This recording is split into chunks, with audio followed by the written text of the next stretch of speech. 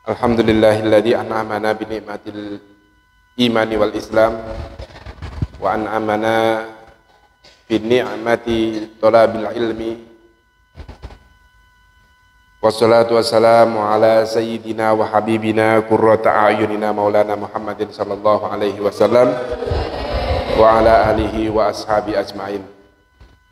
Rabbi israh li sadri wa yassir li amri wa hlul 'uqdatam min lisani yafqahu qawli amma ba'd Yang kami hormati, kami takdimkan para kiai, para habaib,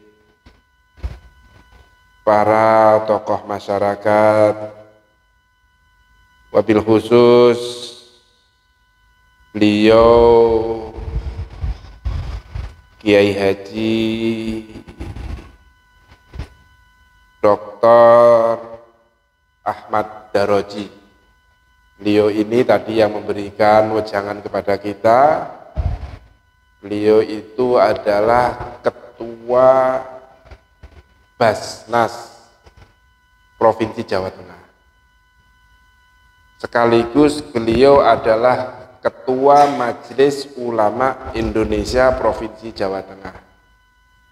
Beliau yang mengarahkan apa-apa yang kaitannya dengan keagamaan di pemerintahan Provinsi Jawa Tengah. Beliau juga yang mengatur bagaimana mulai dari zakat, infak, sodakoh, para pegawai negeri di Jawa Tengah, termasuk Gubernur Jawa Tengah Pak Ganjar, juga saya. Ini semua keuangan zakat, infak, sodakoh setiap bulan kami serahkan kepada beliau. Beliau yang mengatur, memberikan, menyalurkan zakat, infak, sodakohnya ke asnaf-asnaf yang menjadi aturan di dalam syariat. Jadi sangat bermanfaat usia beliau. Di usia beliau yang 82 tahun tetapi semangatnya melebihi kita-kita ini. Kita-kita ini Bismillah, Masya Allah beliau masih semangat ke mana-mana kegiatan mulai dari pagi sampai saat ini dan nanti malam masih diteruskan. Tetapi karena berjuang untuk agama beliau sangat semangat. Ini harus kita tiru perjuangan beliau. Kita harus mengikuti para sesepuh, para ulama yang memiliki juhud kepada agama. Juga yang kami hormati beliau Kiai Mansur, pengasuh Pondok Pesantren Nurul Anwar Sentani, desanya Komba. Kita doakan beliau berdua ini usianya panjang, diberi kesehatan dan tentunya usianya penuh barokah manfaat. Juga para kiai-kiai yang lainnya yang nggak bisa saya sebut satu persatu para ibu nyai hadir bersama kami juga kepala biro kesra kami Pak Imam Pak Imam ini juga terkenal sebagai kiainya kalau waktu di Tegal beliau salah satu pengurus NU bahkan ketua tanfid di MWC di Tegal di Kabupaten Tegal. Alhamdulillah beliau juga ikut membantu kami di pemerintah Provinsi Jawa Tengah untuk bidang sosial, kesejahteraan rakyat. Jadi kalau ada masalah-masalah kesejahteraan rakyat, beliau yang biasa kami minta. Termasuk kerukunan umat, termasuk hubbul waton, ini urusan beliau termasuk pengentasan kemiskinan. Saya dibantu oleh beliau untuk mengentaskan kemiskinan di Jawa Tengah. Para adik-adik santri, putra maupun santri putri Pondok Pesantren Nurul Anwar yang berbahagia, tadi didoakan oleh Kiai Ahmad Daroji panjenengan semua itu patut bersyukur karena mendapat kesempatan untuk belajar agama. Karena dengan pendidikan atau biasa disebut di dalam Islam yaitu ilmu tolabul ilmi orang yang memiliki ilmu itu salah satunya ada kemungkinan besar mendapat makrifat atau mendapat futuh dari Allah Subhanahu wa taala. Karena dengan ilmu kita semua bisa beribadah dengan baik dan insya Allah dengan ilmu itu ibadah kita diterima oleh Allah Subhanahu wa taala. Maka kita patut bersyukur. Salawat serta salam kita aturkan kepada junjungan Nabi besar Muhammad Sallallahu Alaihi Wasallam. Dengan bacaan salawat dan salam kita berharap mendapatkan syafaat beliau biyaumil kiamah. Selanjutnya saya ingin menyampaikan sedikit saja tentang apa yang disampaikan oleh ulama besar kita yaitu Ibnu Athaillah As-Sakandari di dalam karya monumennya di dalam kitab Hikam Ibnu Athaillah As-Sakandari. Di dalam kitab Hikam beliau menyampaikan Idza fataha laka wijhatan minat ta'arufi fala tubali ma'aha. In killa amaluka fa innahu ma fatahalaka illa wa huwa yuridu ayya ilaika. Alam ta'lam anna ta'arruf huwa mauriduhu alaika wal a'mal anta di dalam kalimat yang disampaikan oleh beliau Ibnu Athaillah As-Sakandari yang mengana Idza fataha kalau apabila Allah Subhanahu wa taala sudah membuka wijhatun minat ta'arufi salah satu pintu untuk mengetahui atau ta'aruf dengan kamu fala tubali ma'ah maka jangan pernah punya prasangka punya pikiran terhadap ta'aruf tersebut. Misal, ingkillah amaluka. Saya ini atau orang itu amalnya sedikit. Kok tiba-tiba Allah Subhanahu wa taala pengen kenal. Pengen kenal, pengen kenal. Padahal kita yang di pondok pesantren itu terkadang belum bisa merasakan apa yang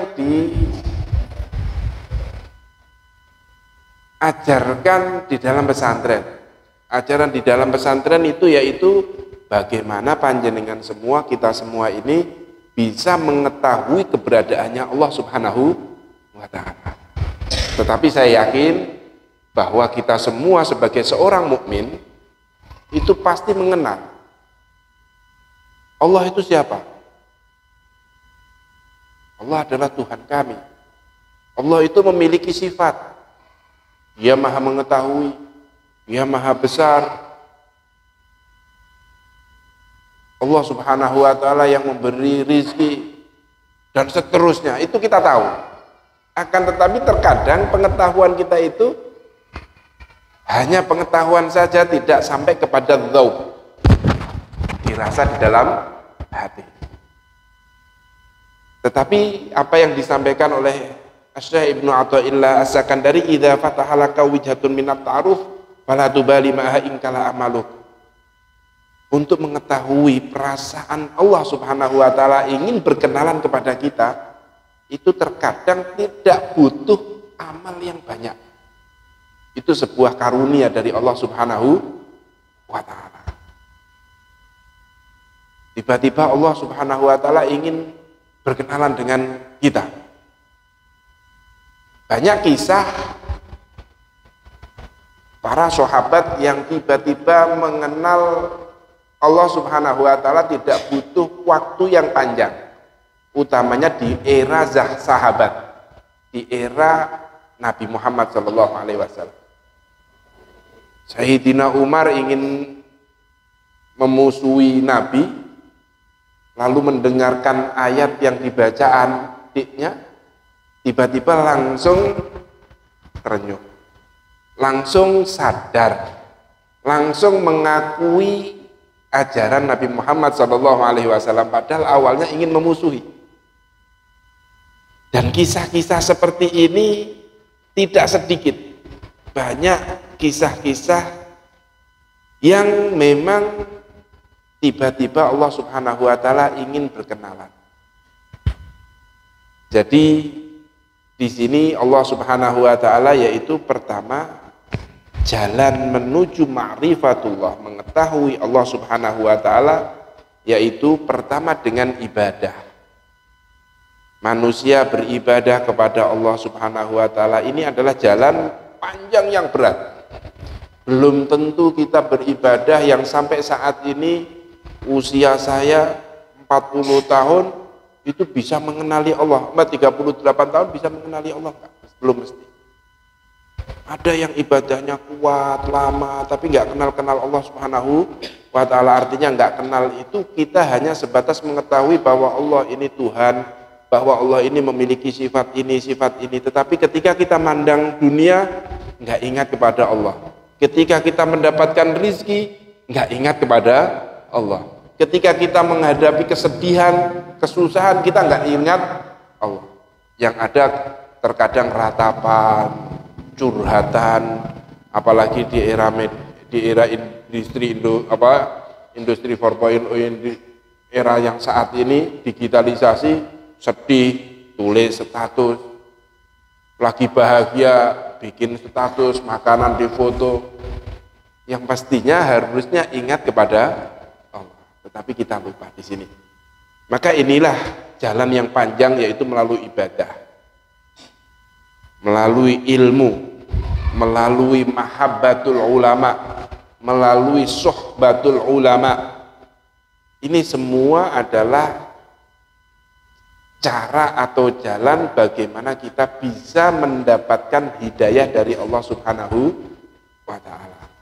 Jalan yang kedua adalah yang saat ini kita bahas, yaitu Allah Subhanahu wa Ta'ala yang ingin mengenalkan dirinya kepada kita. Maka kita hidup itu di dunia, kita nggak usah kok tiba-tiba ada orang enak temen ya, dia langsung bisa merasakan kehadiran Allah Subhanahu wa taala. Banyak cerita seperti itu. Satu setengah bulan yang lalu saya sowan kepada Kiai Ahmad di Giren, Tegal. Beliau menyampaikan, beliau punya kenalan seorang dokter. Yang dokter ini sudah ke mana-mana. Beliau pertama mengabdikan bahkan di negara Israel kalau nggak salah, terus di Amerika, baru pindah ke Indonesia. Setelah di Indonesia, beliau sering mengobati para ulama, para habaib. Dari kedekatan beliau dokter ini dengan ulama, dengan habaib, muncul ma'rifatullah. Tiba-tiba Allah subhanahu wa ta'ala ingin berkenalan kepada beliau Padahal biasanya ya ngobatin gitu saja, hanya rasa kemanusiaan sebagai dokter saja. Ketika ada orang yang sholat, beliau memberikan obat. Ketika ada orang yang tidak mampu, beliau mengobati dengan gratis, begitu saja. Akan tetapi suatu ketika Allah Subhanahu wa Ta'ala yang ingin berkenalan kepada dia, tiba-tiba beliau menyampaikan kepada Kiai Ahmad, Kiai Ahmad, rasa-rasanya saya ini sudah waktunya kembali kepada Allah. Lalu Kiai Ahmad tanya, kenapa kamu bilang seperti itu? Akhir-akhir ini saya merasa takut betul dengan Allah Subhanahu wa taala. Perasaan takut saya ini melebihi biasanya. Emang kamu takut kenapa? Lihat saya, pakaian saya hanya pakai kaos, pakai celana 3 per 4, tidak karena memang madhabnya cingkrang, bukan, tapi memang pakaiannya 3 per 4, dan saya melakukan sholat ya seperti ini saja. Ketika waktu sholat saya nggak pernah punya adab untuk melakukan sholat yang harus pakai sarung, pakai baju putih yang bersih. Enggak. Dia sholat begitu saja. Wah, baik banget. Setelah sholat biasa. Tapi saya rasanya sekarang kok takut ya ibadah seperti itu. Ketika saya sowan kepada Allah Subhanahu wa taala, saya harus pengen bersih dulu, pakai baju putih dulu, pakai yang benar-benar ini. Selang beberapa hari diambil oleh Allah Subhanahu di akhir hayatnya apa mendapatkan hidayah yang begitu dekat sampai merasakan bahwa dia akan dipanggil oleh Allah Subhanahu wa taala. Padahal dia membantu awalnya hanya rasa kemanusiaan. Karena jadi sebagai dokter begitu saja. Inilah salah satu jalan bahwa Allah Subhanahu wa taala ingin berkenalan itu biasanya itu ada yang menerangkan yang pertama itu mempunyai ilmu. Seorang tolabul ilmi, orang yang memiliki ilmu banyak. Orang yang memiliki ilmu itu terkadang dia ngalim, dia pintar di pondok pesantren, akan tetapi ketika pulang lupa dengan apa yang diajarkan. Karena merasa saya butuh mau dakwah, saya butuh apa? uang. Saya mau mengajar harus punya tempat dulu. Saya harus mengajar harus punya meisah yang dulu yang kuat dulu. Sehingga akhirnya dibayang-bayangi itu akhirnya yang dikejar adalah rizki. Kerja, kerja, kerja, lupa. Akan tetapi ini kemungkinan besar mendapat hidayah dari Allah karena ilmunya tadi. Tiba-tiba dia diberi peringatan oleh Allah oh iya ya saya kok lupa dengan apa yang saya ajarkan. Akhirnya beliau apa? Ngajar. Sahok. Apa? Lumo bahasa Indonesia ini apa lumo paham Hah? Loman bahasa Indonesia ini apa dermawan sahok kayak tadi dokter dermawan. Ada yang sakit kalau tidak mampu dibiarkan. Ada orang yang habaib dianggap sebagai ulama, dia memberikan pengobatan yang gratis. Akhirnya apa? Diberi oleh Allah Subhanahu wa taala makrifat. Allah Subhanahu wa taala yang ingin berkenalan kepada orang tersebut. Ini salah satu juga bagian bagaimana Allah Subhanahu wa taala memiliki pintu besar untuk ma'rifatullah. Yang ketiga yaitu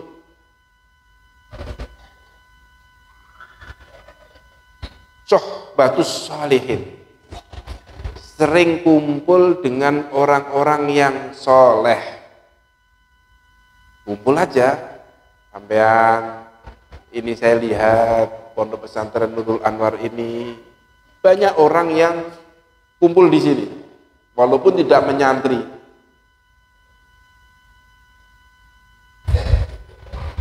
Yang ada di sebelah kanan kami yang pakai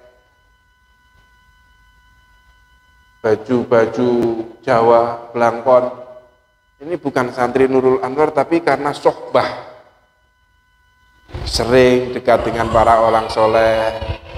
Ini, ini juga mungkin besar kemungkinan besar akan mendapatkan apa makrifat atau hidayah dari Allah Subhanahu wa taala. Atau mahabbatus salihin. Bukan hanya sohbah mendampingi saja tetapi merasa senang.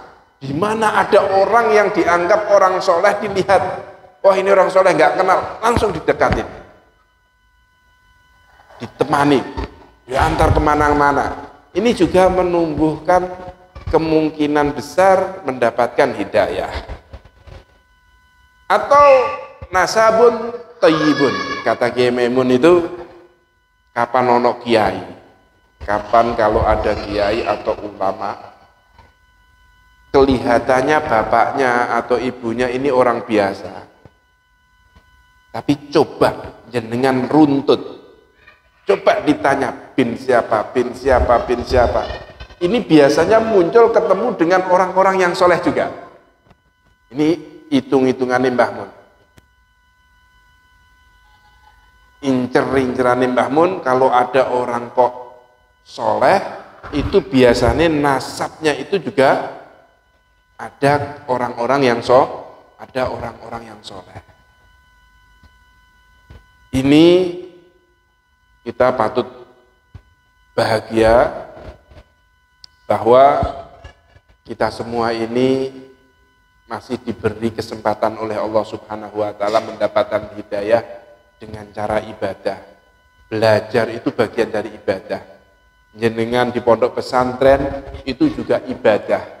Maka dengan panjangnya ibadah panjenengan semua, saya berharap dengan panjangnya ibadah kita, kita mendapatkan ilmu yang manfaat, bisa mengetahui Allah Subhanahu wa taala bukan hanya mengetahui tapi bisa merasakan kehadiran beliau, kehadiran Allah Subhanahu wa taala.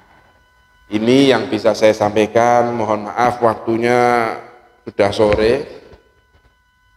Kalau saya sih pengennya panjang, tetapi keadaan yang harus apa e, memisahkan kita sementara, insya Allah lain waktu. Semoga saya bisa ketemu lagi di Pondok Pesantren Nurul Anwar ini, bisa memberikan manfaat di masyarakat khususnya di Pondok Pesantren Nurul Anwar ini kunjungan kami kedua ini bukan lain runtutan dari kunjungan yang pertama. Kemarin waktu kami ke sini ketika ada acara PON kami berjanji untuk membantu pondok apa membantu masjid raya atau Baitur Rahim Papua. Dan alhamdulillah saat ini kemarin kita sudah penuhi tinggal merealisasikan apa yang diagendakan oleh Basnas Republik Indonesia untuk memberikan bantuan juga kepada warga Papua yang ada di Wamena. Semoga kedatangan kami yang ketiga kalinya lebih panjang lagi di Pondok Pesantren Nurul Anwar. Tidak hanya satu jam dua jam tapi bisa bermalam ya supaya bisa kumpul panjenengan semua bisa bersama-sama panjenengan. Mungkin ini matur semah nuwun mugi wonten manfaat. Semoga ada manfaatnya. Dan Allah wa iyyakum ihdinas siratal mustaqim. Wassalamualaikum warahmatullahi wabarakatuh